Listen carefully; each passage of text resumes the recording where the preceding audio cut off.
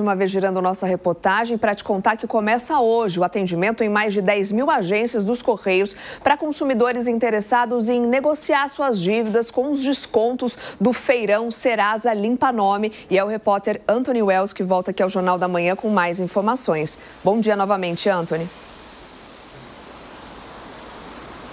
Fala Soraya, tudo bem? Bom dia para você, para o Colombo, para todo mundo que está acordando com a gente aqui no Jornal da Manhã. É isso. Entre hoje e o dia 29 de novembro, os brasileiros endividados vão poder renegociar as suas dívidas nas agências dos Correios. Como você bem disse, são mais de 10 mil agências espalhadas por todo o território brasileiro. Estamos falando de uma iniciativa que é uma parceria dos Correios com a Serasa e faz parte do Feirão Serasa Limpa Nome, que inclui dívidas é, em mais de mil empresas de telefonia, internet e bancos, por exemplo. Então, os consumidores podem agora escolher a data de vencimento e a quantidade de parcelas nessa renegociação sem a cobrança de taxa ou custo adicional.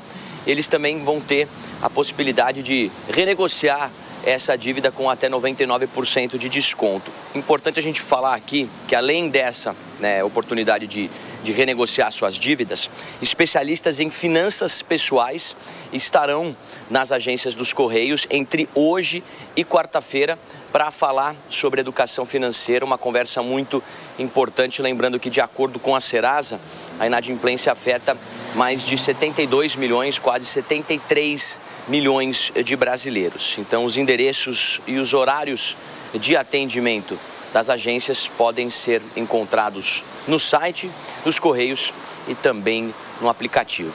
Viu? Volto com vocês. Oportunidade, então, para quem re quer renegociar a dívida agora nesse começo de semana. Antônio, obrigada pelas suas informações. Até já.